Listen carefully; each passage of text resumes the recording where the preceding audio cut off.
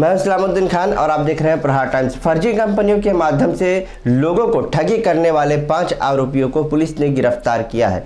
उनतीस मार्च को कापुरवाड़ी police station में शिकायत मिलने के बाद पुलिस ने गुप्त जानकारी के अनुसार मुख्य आरोपी गोविंद मौर्य को कल्याण से गिरफ़्तार किया है। इसी तरह उमंग कनक भाईसा और अजय महेंद्र चंद्र जरीवाला को सूरत से गिरफ़्तार किया गया है। इसी तरह रितेश सुरेश पटेल को गुजरात से तो वहीं संदीप गोविंद पाटिल को ठाणे से गिरफ़्तार किया गया है। दरअसल ये लोग पहले किप्टो ट्रेड नामक फर्जी कंपनी के ज़रिए लोगों को सात लाख पचास हज़ार का निवेश करने पर 200 दिनों में 21 लाख रुपए देने का वादा करते थे और कंपनी में सदस्य देने पर सदस्य जितनी राशि का निवेश करेगा, उसका तीन परसेंट रॉयल्टी प्रत्येक सप्ताह में देने की बात करते थे। इसी तरह इन लोगों ने तीन से चार फर्जी कंपनियाँ बनाई और अब तक इन लोगों ने नौ लोगों को लगभग एक करोड़ चालीस लाख सत्ताईस हज़ार पाँच सौ रुपए की धोखाधड़ी का मामला प्रकाश में आया है। उनतीस मार्च को कापुरबाउडी पुलिस थाने में एक कंप्लेंट रजिस्टर हुई।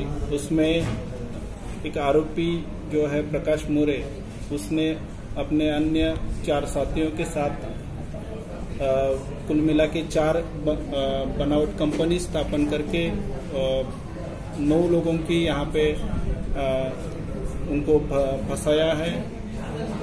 और उसमें से उन्होंने करीब करीब वन करोड़ चालीस लाख रुपए को उसमें उन्होंने फंसाया।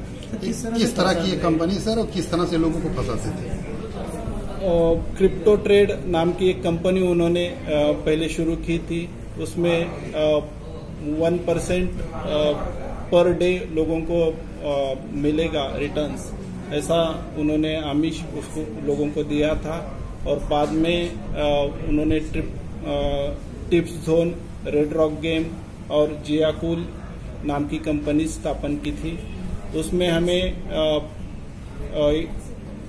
पाँच आरोपियों का उसमें नाम अब तक सामने आया है। पाँच आरोपी को, आरोपियों को महाराष्ट्र, गुजरात और दिल्ली से गिरफ़्तार किया गया। क्या बैकग्राउंड क्या इस आरोपी का और इन्होंने अभी तक फंसाया गया है?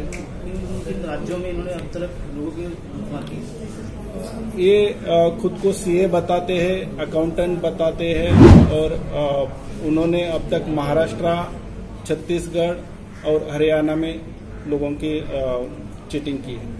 सर अब तक इन्होंने इतने अपराध किए हैं? किस तरह से अपराध के बाद कितना रिकवर हुआ है? पुलिस ने किया है अब तक ये लोगों के सात बैंक अकाउंट्स फ्रीज किए गए हैं और और भी इन्वेस्टिगेशन आगे जारी है। पुलिस कस्टडी और आगे की जाँच बड़ा रैकेट हो सकता है? दस तारीख तक पुलिस कस्टडी ऑनरेबल कोर्ट ने सैंक्शन की है और आ, हमें लगता है कि और भी लोगों की यहाँ पे चीटिंग हुई होगी। मैं उन लोगों से दरखास्त करता हूँ कि वो आ जाए और हमारे पास उनके पेपर्स लेके आ जाए और उनकी कंप्लेंट रजिस्टर करें ताकि हम आगे इन्वेस्टिगेट कर सके। और मैं लोगों से ये भी अपील करता हूँ कि ऐसे फेक कंपनी जो होते हैं, उनसे सावधान रहे और अपनी चिटिंग होने से बच जाए।